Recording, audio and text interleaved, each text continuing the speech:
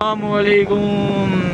Guys, کیا حال ہے؟ امید کرتا ہوں ٹھیک ہوں گے اور ہم جا رہے ہیں موترے کی نہر پہ۔ تو ادھر ایک دربار ہے، آج دیکھتے ہیں ادھر کیا بنتا ہے۔ انشاءاللہ ہمارے ساتھ یہ گائز ملتے ہیں ادھر، انشاءاللہ۔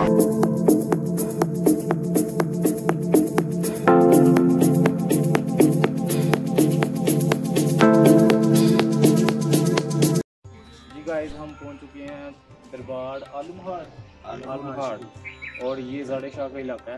ادھر کے ایم این اے ہیں۔ یہ سامنے ان کا گھر ہے۔ یہ سائڈ ان کے گھر کا گھر ہے اور یہ بھائی ہمارے ساتھ پاٹ صاحب لے کے ہیں۔ اور یہ میڈم صاحب میرے بھائی ہیں ماشاء اللہ۔ ان کے ساتھ آئے ہیں۔ تو یہ آئی تھنک سہارپور سے آدھے گھنٹے کا سفر ہے۔ کون سا ایریا لگتا ہے؟ بلو مار بلو مار کا ایریا کے اندر آ گیا آلو مار تو یہ زاڑے شاہ کے گھر کے بالکل ساتھ دربار یہ دربار کا گیٹ ہے۔ اب ہم آپ کو اندر جا کے دکھاتے ہیں۔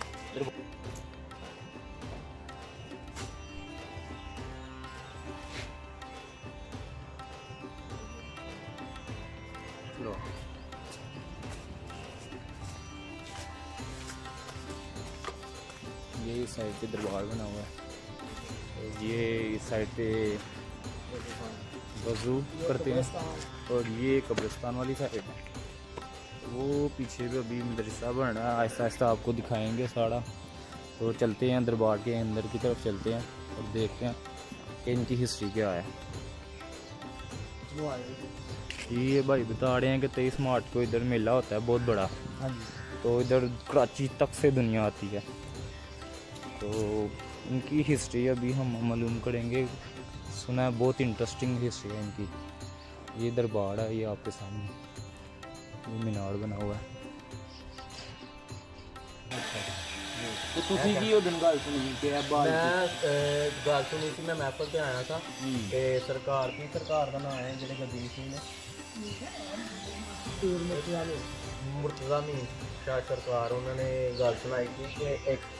100 ਸਾਲ ਹੋ ਗਿਆ ਹੈ ਨਹੀਂ ਬਣਿਆ। ਅੱਛਾ। ਠੀਕ ਹੈ। ਤੇ ਨਾ ਅਸੀਂ ਇਹਨੂੰ ਕੁਝ ਕੀਤਾ ਹੈ, ਨਾ ਕੁਝ ਮਸਲ ਨੂੰ ਹੋਣ ਦਿੱਤਾ ਹੈ ਸਰਕਾਰ ਨੇ ਆਪੀ ਨਹੀਂ ਕੁਝ ਹੋਣ ਦਿੱਤਾ। ਸਿਰਫ ਇਹਦੇ ਤੋਂ ਅਸੀਂ ਇੰਨਾ ਕੰਮ ਕੀਤਾ ਨਿਸ਼ਾਨ ਕਰਕੇ ਤੇ ਪੱਥਰ ਲਗਾਇਆ। ਲਾਇਆ ਇਸ ਤੋਂ ਇਲਾਵਾ ਅਸੀਂ ਕੋਈ ਚੀਜ਼ ਨਹੀਂ ਕੀਤੀ। ਠੀਕ ਹੈ। ਪਹਿਲਾਂ ਛੋਟੀਆਂ ਛੋਟੀਆਂ ਕਹਿੰਦੇ ਨੇ ਪਏ ਪਹਿਲਾਂ ਛੋਟੀਆਂ ਛੋਟੀਆਂ ਇੱਟਾਂ ਸਨ। ਅੱਛਾ ਅੱਛਾ। ਤੇ ਹੁਣ ਅਸੀਂ ਇਹ ਤੇ ਜਿਹੜਾ ਨਾ ਪੱਥਰ ਚੱਕਰ ਲਗਾ ਕੇ ਨਾ ਤੇ ਥੋੜੀ ਜਿਹੀ ਸਿਰਫ ਜਾਵਟ ਕੀਤੀ ਹੈ ਇਸ ਤੋਂ ਇਲਾਵਾ ਅਸੀਂ ਕੋਈ ਕੰਮ ਨਹੀਂ ਕੀਤਾ। ਠੀਕ ਹੈ ਠੀਕ ਹੈ। ਤੇ ਇਹ ਜਿਹੜਾ ਸ਼ਜਰਾ ਵੇ ਇਹ ਸ਼ਜਰਾ ਅਬਦੁਲ ਮੁਤ ਹਜ਼ਰਤ ਅਬਦੁਲ ਅਬਦੁਲ ਤੋਂ ਚੱਲਦਾ ਆ ਰਿਹਾ ਹੈ। ਹਾਂ ਹਜ਼ਰਤ ਅਬਦੁਲ ਮੁਤਲਿਬ ਤੋਂ ਚੱਲਦਾ ਆ ਰਿਹਾ ਉੱਥੇ ਲਿਖਿਆ ਗਿਆ ਹੈ ਸਾਰਾ ਸਜਣਾ ਤੇ ਉਹ ਜਿਹੜੀ ਇੱਕ ਦੱਸਦੇ ਨੇ ਕਿ ਕਪੜਾ ਪਾ ਕੇ ਤੇ ਦੀਵਾਰ ਤੇ ਦੀਵਾਰ ਹਾਂਜੀ, ਹਾਂਜੀ। ਉਹ ਕੀ ਉਹ ਦਰਮਿਆਨ ਦੇ ਵਿੱਚ ਜਿਹੜਾ ਦਰਬਾਰ ਸੀ ਨਾ। ਹਾਂਜੀ। ਹਾਂਜੀ ਜਿਹੜੇ ਤਿੰਨ ਦਰਬਾਰ ਨੇ ਉਹਨਾਂ ਦੇ ਦਰਮਿਆਨ ਦੇ ਵਿੱਚ ਜਿਹੜਾ ਦਰਬਾਰ ਹੈ ਨਾ ਉਹਨਾਂ ਨੇ ਸੁਣਿਆ ਕਿ ਅਹ, ਅਤੇ ਦੀਵਾਰ ਦੇ ਉੱਤੇ ਕਪੜਾ ਪਾ ਕੇ ਨਾ ਤੇ ਦੀਵਾਰ ਨੂੰ ਕਿਹਾ ਸੀ ਚੱਲ। ਸ਼ੇਰ ਕਹਿੰਦੇ ਨੇ ਕਿ ਸ਼ੇਰ ਦੀ ਸਵਾਰੀ ਵੀ ਉਹਨਾਂ ਕੀਤੀ ਉਹਨਾਂ ਨੇ ਜਿਨ੍ਹਾਂ ਨੇ ਦੀਵਾਰ ਤੇ ਕਪੜਾ ਪਾਇਆ ਸੀ। ਹਾਂਜੀ ਅੱਛਾ, ਹਾਂਜੀ ਹਾਂਜੀ। ਤੇ ਉਹ ਕਹਿੰਦੇ ਪਏ ਕਿ ਉਹਨਾਂ ਨੇ ਇੱਕ ਦਫਾ ਨਾ ਦੀਵਾਰ ਦੇ ਉੱਤੇ ਕਪੜਾ ਪਾ ਕੇ ਨਾ ਤੇ ਦੀਵਾਰ ਨੂੰ ਆਖਿਆ ਚੱਲ ਟੋਰ ਤੇ ਦੀਵਾਰ ਵੀ ਟੁਰਨ ਲੱਗ ਪਈ। ਹਾਂਜੀ ਬਿਲਕੁਲ ਲੈਂਦੇ ਨੇ, ਬਿਲਕੁਲ ਲੈਂਦੇ ਨੇ। ਧਿਆਨ ਲੈਂਦੇ ਨੇ ਤੇ ਇਮਤਿਹਾਨ ਕਹਿੰਦੇ ਨੇ ਇਮਤਿਹਾਨ ਮਰਜ਼ੀ ਲੈਂਦੇ। ਉਦੋਂ ਜਦੋਂ ਕੁਝ ਕਰਕੇ ਹਾਂਜੀ ਹੋਰ ਕੁਝ ਕਰਕੇ ਵਿਖਾਓ ਨਾ ਤੇ ਫੇਰ ਕਹਿੰਦੇ ਨੇ ਦੁਨੀਆ ਫਿਰ ਫੇਰ ਮਰਦੀ ਹੈ ਉਂਝ ਕੋਈ ਵੀ ਨਹੀਂ ਮਰਦਾ ਕੋਈ ਮਾਰਦਾ ਉਹ ਜਾਂਦਾ ਨੇ ਦਾਲ ਲਾਂਦਾ ਇਹ ਬਾਲਕੀ ਦੇ ਵਿੱਚ ਰਹਿਣਾ ਇਹਨੇ ਸਰਕਾਰ ਨੇ ਇੰਨਾ ਕਿਉਂ ਪਸੰਦ ਕੀਤਾ ਸੀ? ਅਹ ਸਰਕਾਰ ਨੇ ਨਾ ਮਤਲਬ ਕਿ ਆਬਾਦ ਕਰਦੇ ਹੁੰਦੇ ਸੀ ਤੇ ਪਾਲਕੀ ਟੈਪ ਨੂੰ ਮਤਲਬ ਕਿ ਇਹਨਾਂ ਦਾ ਮਤਲਬ ਕਿ ਛੋਟਾ ਜੀ ਮਤਲਬ ਜ਼ਿਆਦਾ ਨਹੀਂ ਸੀ ਆ ਮਤਲਬ ਕਿ ਆਸਾਨਾ ਸੀ। ਖਰਚਾ ਆਸਾਨਾ ਨਹੀਂ ਕਰਨਾ ਚਾਹੁੰਦੇ। ਇਹ ਦਰਵੇਜੇ ਆਦਮੀ ਸੀ ਸਾਦੇ ਆਦਮੀ ਸੀ ਕੋਸ਼ਿਸ਼ ਕਰਦੇ ਕਿ ਥੋੜੀ ਜਗ੍ਹਾ ਦੇ ਵਿੱਚ ਨਾ ਹਾਂਜੀ। ਮਖਸੂਸ ਉਹ 'ਚ ਆਬਾਦ ਕਰਦੇ ਸੀ। ਜੀ ਜਾਂ। ਛੋਟਾ ਜਿਹਾ ਇੱਕ ਝੁੰਮ- ਝੋਂਪੜੀ ਜੀ ਬਣਾਈ ਸੀ ਉਹਨੂੰ ਪਾਲਕੀ ਦਾ ਹੀ ਉਸਤਾਬ ਉਸ ਤਰ੍ਹਾਂ ਉਹਨਾਂ ਨੇ ਜਦੋਂ ਕਿ ਵਫਾਤ ਹੋਈ ਉਹਨਾਂ ਨੇ ਇਹ ਕਿਹਾ ਕਿ ਮੇਰੀ ਇਸ ਤਰ੍ਹਾਂ ਦੀ ਪਾਲਕੀ ਟੈਪ ਹੀ ਬਣਾਈ ਜਾਏ ਜ਼ਿਆਦਾ ਨਾ ਮਤਲਬ ਕੀਤਾ ਜਾਏ। ਹਾਂਜੀ। ਤੇ ਬਜ਼ੁਰਗ ਇਸੇ ਤਰ੍ਹਾਂ ਹੀ ਨਾ ਮਤਲਬ ਕਿ ਉਹ ਝੋਂਪੜੀ ਨੂੰ ਹੀ ਨਾ ਪਾਲਕੀ ਟੈਪ ਵੀ ਇਸੇ ਤਰ੍ਹਾਂ ਹੀ ਉਹ ਆਬਾਦ ਕਰਦੇ ਰਹੇ ਨੇ ਉਹਦੇ ਵਿੱਚ। ਤੇ ਉਹਨਾਂ ਦੀ ਇਹ ਲੜੀ ਚੱਲਦੀ ਰਹੀ ਹੈ। ਇਹਨਾਂ ਬਜ਼ੁਰਗਾਂ ਨੇ ਬੜੀ ਮਿਹਨਤ ਕੀਤੀ ਹੈ ਬੜੇ ਪਾਕ ਲੋਕ ਸਨ। ਤੇ ਇਹ ਹਿਜਰਤ ਕਰਕੇ ਆਏ ਹਨ? ਇਹ ਹਿਜਰਤ ਕਰਕੇ ਆਏ ਸਨ। ਇੰਡੀਆ ਚੋਂ? ਨਹੀਂ ਇਹ ਤਾਂ ਮੁਕਾਮੀ ਸਨ। ਅੱਛਾ। ਇਹ ਲੋਕ ਇਹ ਇਹਨਾਂ ਨੇ ਮੁਕਾਮੀ ਸਨ। ਅੱਛਾ ਅੱਛਾ ਤੇ ਜਿਹੜੇ ਦੂਜੇ ਲੋਕ ਸੀ ਨਾ ਜਿਹੜੇ ਮਤਲਬ ਇੰਡੀਆ ਵਗੈਰਾ ਬੜੇ ਸਗੀਰ ਇੱਕ ਹੀ ਸੀ ਨਾ। ਬਿਲਕੁਲ। ਲੋਕ ਇਹਨਾਂ ਦੇ ਕੋਲ ਆਉਂਦੇ ਸੀ ਇਹਨਾਂ ਕੋਲ ਫੈਜ਼ ਹਾਸਲ ਕਰਨ ਵਾਸਤੇ। ਹਾਂਜੀ। ਕਾਫੀ ਇੰਡੀਆ ਚੋਂ ਸਿੰਧ ਚੋਂ। ਇਲਾਕੇ 'ਚ ਨਾ ਸਾਰੇ ਲੋਕ ਇੱਥੇ ਆਉਂਦੇ ਸੀ ਇਹਨਾਂ ਕੋਲ ਫੈਜ਼ ਹਾਸਲ ਕਰਨ ਵਾਸਤੇ। ਤੇ ਭਾਈ ਇਹਨਾਂ ਦੇ ਵਿਲਾਦਤ ਵਿਲਾਦਤ ਦਾ ਪਤਾ ਕੁਝ ਨਹੀਂ ਯਾਰ ਬਹੁਤ ਪੁਰਾਣੀ ਵਾਕਿਆ ਦੇ ਹੈ ਕੋਈ 5-600 ਸਾਲ ਪੁਰਾਣੀ? ਤਕਰੀਬਨ ਇੰਨਾ ਕੁ ਤੇ ਹੋਣਾ ਹੀ ਹੈ। ਇੰਨਾ ਕੋ ਨਹੀਂ ਹੈ ਠੀਕ ਹੋ। ਪੀਰ ਇਹਨਾਂ ਦੇ ਹੋਏ ਨੇ ਬੜੇ ਪੀਰ ਫੈਜ਼ੁਲ ਸਾਹਿਬ। ਉਹਨਾਂ ਨੇ ਮਰਜ਼ਈਆਂ ਦੇ ਖਿਲਾਫ ਬੜੀ ਤਰੀਕ ਚਲਾਈ ਸੀ। ਗੋਲਾ ਸ਼ੀਰ ਸਰ ਸਰਕਾਰ ਨੇ ਤੇ ਇਹਨਾਂ ਨੇ ਬਹੁਤ ਮਿਲ ਕੇ ਇਹਨਾਂ ਨੇ ਤਰੀਕ ਚਲਾਈ ਸੀ। ਔਰ ਜਦੋਂ ਲਾਹੌਰ ਇਹਨਾਂ ਦਾ ਮਨਾਜ਼ਰਾ ਹੋਇਆ ਬਾਦਸ਼ਾਹੀ ਮਸਜਿਦ ਮਨਾਜ਼ਰਾ ਹੋਣਾ ਸੀ ਜਦੋਂ ਗੁਲਾਮ ਅਹਿਮਦ ਦੀ ਬਾਦ ਨੇ ਆਣਾ ਸੀ ਉੱਥੇ। ਉਹ ਨਹੀਂ ਸੀ ਆਇਆ। ਤੇ ਆਪ ਪੀਰ ਫੈਜ਼ੁਲ ਹਸਨ ਸਾਹਿਬ ਤੇ ਗੋਲਾ ਸ਼ੀਰ ਸਰਕਾਰ ਉੱਤੇ ਪਹੁੰਚੇ ਸੀ। ਤੇ ਇਹਨਾਂ ਨੇ ਬੜੀ ਮਿਹਨਤ ਕੀਤੀ ਇਹਨਾਂ ਨੂੰ ਮਰਜ਼ਈਆਂ ਦੇ ਮਤਲਬ ਕਿ ਇਹਨਾਂ ਨੂੰ ਇਸਲਾਮ ਤੋਂ ਇਹਨਾਂ ਨੇ ਠੀਕ ਹੈ ਠੀਕ ਇਹਨਾਂ ਨੇ ਮੁਸਲਮਾਨਾਂ ਨੂੰ ਬੜਾ ਨੁਕਸਾਨ ਪਹੁੰਚਾਇਆ ਸੀ। ਉਸ ਵੇਲੇ ਨਾਲ ਇਹਨਾਂ ਨੇ ਬੜੀ ਮਿਹਨਤ ਕੀਤੀ। ਠੀਕ ਹੈ ਲਾਮਾ ਕਬਾਲ ਸਾਹਿਬ ਸਰਕਾਰ ਇੱਥੇ ਆਂਦੇ ਰਹੇ ਨੇ ਹਾਜ਼ਰੀ ਦੇਣ ਵਾਸਤੇ ਅੱਛਾ, ਅੱਛਾ, ਮਾਸ਼ਾਅੱਲਾ। ਲਾਮਾ ਕਬਾਲ ਸਾਹਿਬ ਸਰਕਾਰ ਇੱਥੇ ਹਾਜ਼ਰੀ ਦੇਣ ਆਉਂਦੇ ਰਹੇ ਨੇ। ਔਰ ਟਾਂਗੇ ਚੱਲਦੇ ਸੀ ਲਾਹੌਰ ਦਾ ਰਸਤਾ ਵੀ ਤਕਰੀਬਨ ਦੂਜਾ ਸੀ ਪੁਰਾਣਾ ਇਹ ਰਸਤਾ ਬਾਅਦ ਚੋਂ ਬਣਿਆ। ਠੀਕ। ਤੇ ਜਦੋਂ ਇਹ ਰਸਤਾ ਬਣਿਆ ਨਾ ਫਿਰ ਇੱਥੋਂ ਟਾਂਗੇ ਤੋਂ ਗੁਜ਼ਰਦੇ ਸੀ ਤੇ ਇੱਥੋਂ ਹਾਜ਼ਰੀ ਦੇ ਕੇ ਜਾਂਦੇ ਸਨ।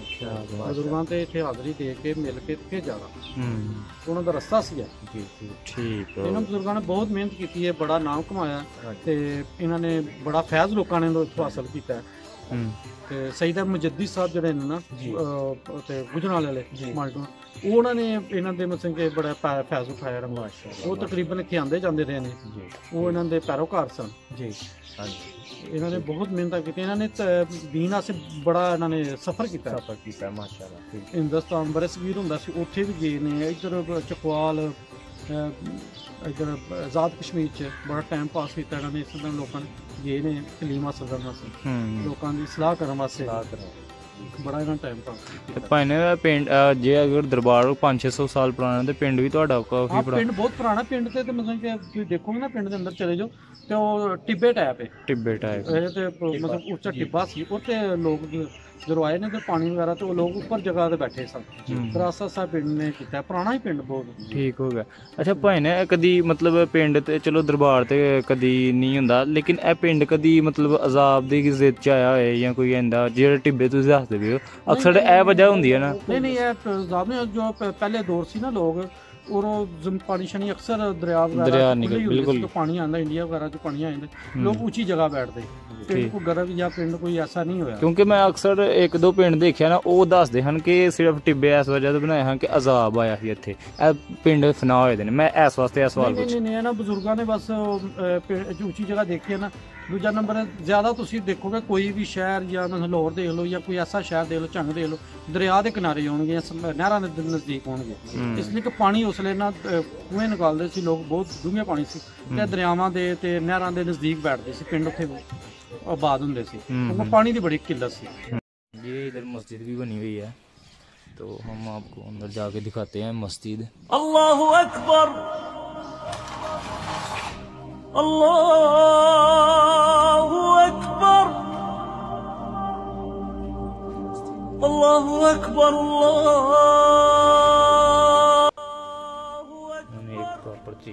मस्जिद और इधर बकायदा नमाज पढ़ी जाती है जुम्मा मतलब एक प्रॉपर मस्जिद है ये।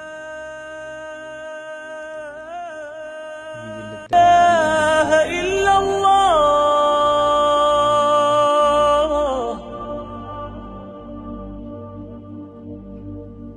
أشهد أن لا بیٹے تھے نا، جو اس ان کے بعد ان گدی دنشین ہوئے تھے، یہ ان کا دربار اور یہ میرے خیال میں جو بعد میں گدی دنشین تھے، سارے ان کی ان کے مقبرے بنے ہوئے ہیں۔ یہ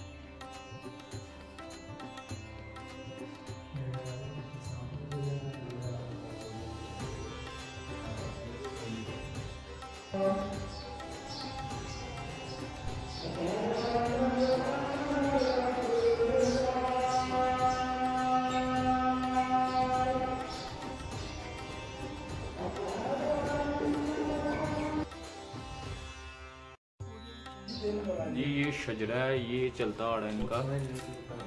یہ آپ پڑھ سکتی ہیں۔ یہ شرٹ شیر جو ہے نا بہت مشکل لکھی ہوئے ہیں تو یہ حضرت عبد المطلب سے چلا تھا سلسلہ۔ تو یہ ان کا چلتا ہے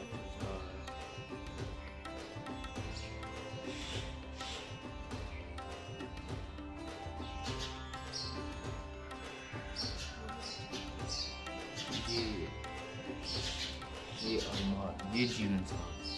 جن کا یہ دربار بنا پالکی والے۔ پھر ادھر سے ان یہ آپ دیکھیں نسلیں چلی۔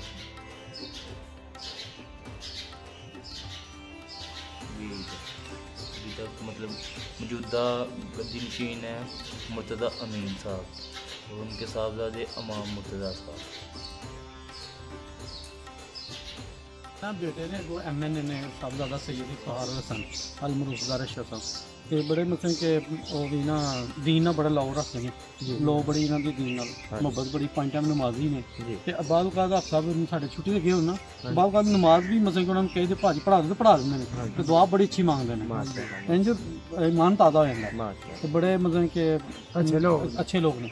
ਤੇ ਦੀਨ ਨਾਲ ਉਹਨਾਂ ਦੀ ਬੜਾ ਹੈ ਬੜੀ ਦੀਨ ਦੇ ਬਾਰੇ ਚ ਮਤਲਬ ਕਿ ਅਕਸਰ ਦੇਖਨੇ ਤੇ ਸਵਾਬ ਮਤਲਬ ਕਿ ਬੱਚੇ ਵੀ ਆਉਂਦੇ ਨੇ। ਕਿਸੇ ਨੂੰ ਡਾਂਟਦੇ ਨੇ ਕੋਲ ਬਿਠਾ ਲੈਂਦੇ ਨੇ। ਬਾਅਦ ਬਾਅਦ ਮਤਲਬ ਕਿ ਬੱਚਿਆਂ ਨੂੰ ਮਤਲਬ ਤਰਤੀਬ ਨਾਲ ਖਿਲਾਰਨਾ ਆਪੀ ਜਦੋਂ ਜਿੱਦ ਕਰਨਾ। ਤੇ ਅਸੀਂ ਬੜੇ ਕੋਸ਼ਿਸ਼ ਕਰਨੇ ਕਿ ਜਿੰਦੇ ਸਾਡੇ ਤੋਂ ਪਹਿਲੇ ਆ ਕੇ ਬੈਠੇ ਹੋਣ। ਹਾਂਜੀ। ਜਦੋਂ ਇੱਥੇ ਉਹਨਾਂ ਕਿ ਇਸਲਾਮਾਬਾਦ ਵਗੈਰਾ ਨਾ ਕਿ ਹੁਣ ਜਾਂ ਕਿ ਅਕਸਰ ਆ ਕੇ ਬੈਠੇ ਨੇ ਫਿਰ ਨਮਾਜ਼ ਦਾ ਬੜਾ ਟਾਈਮ ਰੱਖਣਗੇ ਕਿੰਨੇ ਵਜੇ ਜਮਾਤ ਹੋ ਰਹੀ ਹੈ ਸਭੇ ਕਿੰਨੇ ਜ਼ੋਰ ਦੀ ਕਿੰਨੇ ਫਜਰ ਦੀ। ਕਈ ਇਹ ਟਾਈਮ ਸਾਡੇ ਕੋਲ ਅੱਗੇ ਪਿੱਛੇ ਹੁੰਦੇ ਪਰ ਟਾਈਮ ਦੱਸ ਦਿੰਦੇ ਕਿ ਇਸਲਾਮਾਬਾਦ ਇੰਨੇ ਵਜੇ ਤੁਸੀਂ ਇੰਨੇ ਵਜੇ ਰੱਖੋ। ਕਿਉਂਕਿ ਲੋਕ 2-4 ਮਿੰਟ ਲੇਟ ਖਾ ਲੈਂਦੇ ਸੀ ਕਿ ਲੋਕ ਦੂਜੇ ਵੀ ਰਲ ਜਾਣ। ਜ਼ਿਆਦਾ ਨਮਾਜ਼ ਨਾਲ ਜਮਾਤ ਦੇ ਨਾਲ ਰਲ ਜਾਣ। ਜ਼ਿਆਦਾ ਨੂੰ ਸਵਾਬ ਮਿਲ ਜੇ।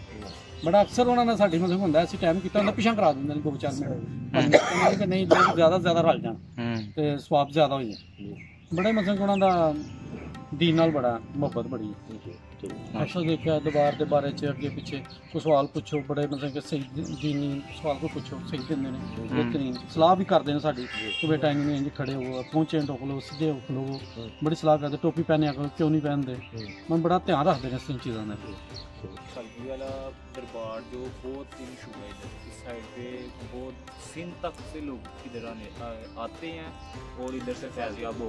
ہیں تو